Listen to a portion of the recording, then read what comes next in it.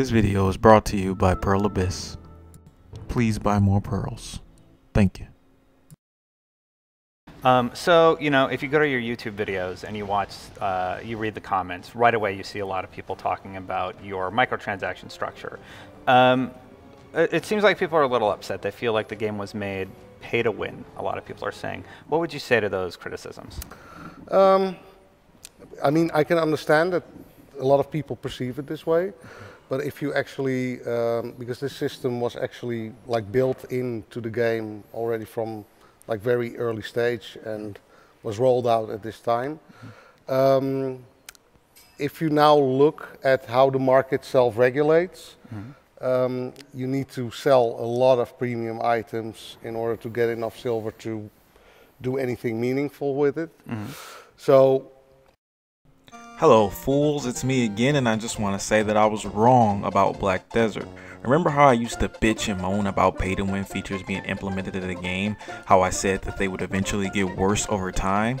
Well, I was wrong. The game isn't pay to win at all. In fact, it's the opposite of that, and I'm just not realizing it. And wait, before you go and type in the comments saying, Oh, you don't even play the game, you black monkey.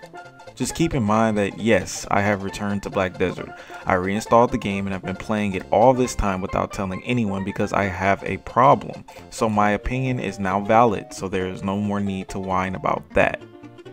Hey, real quick note, before we continue this video, I'm about to go to Bless Online. Uh, y'all need something? No? Okay. Well, let's move on to this. Someone asked me to talk about how BDO has gone full pay to win, and I have to say I'm sorry, but I just don't see it. How is giving players the ability to buy millions of Cron Stones pay to win? You guys just can't play the game and buy your own Cron Stones? Like, what? And then you guys complain about Valk's Cries. Well, Valk's Cries are in a loyalty shop, right, buddy? That's not pay to win. Don't you guys know that? In fact, BDO has never been pay to win because everything you can buy in the shop that gives you some kind of convenience you can also buy in the loyalty shop or in other means in the game. All you have to do is be online to get loyalty points or play the game and get gold and there you go. If you guys really went to work and made money, you wouldn't have to worry about this nonsense anyways.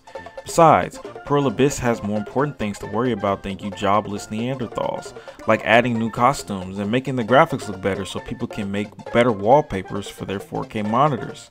They also have to work on PvP balancing, and you know that takes a long time. Hey, remember when Pearl Abyss said they were revamping PvP and they were going to do it in stages and everyone was waiting on the next stage and it's been like 4 months since the last stage? Hmm, I'll have to ask my generous Korean sponsor to get on that when I get a chance.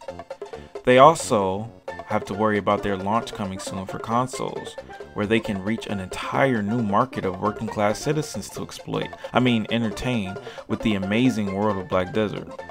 Pearl Abyss is an amazing company, guys, in the same way that Purify is an amazing Black Desert player. You just have to believe in them.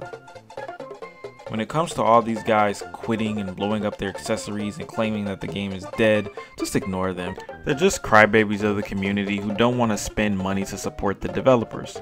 The developers got E too, guys.